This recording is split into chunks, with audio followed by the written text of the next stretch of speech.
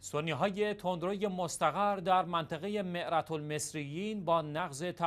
های صورت گرفته به وسیله تیربار به اماکن توزیع کمک در داخل شهرهای شنشن فوه و کفریا در حومه شمالی استان ادلب سوریه حمله کردند و مانع توزیع این کمک ها بین غیر نظامیان شدند. از دیروز و همزمان با ورود این کمک ها این اماکن تا کنون بارها مورد حمله های پراکنده قرار گرفتند. این کمک ها پس از پنج ماه وارد این دو شهر نشین شده و به گفته منابع میدانی کفاف حتی نیمی از جمعیت این دو شهر را نخواهد داد.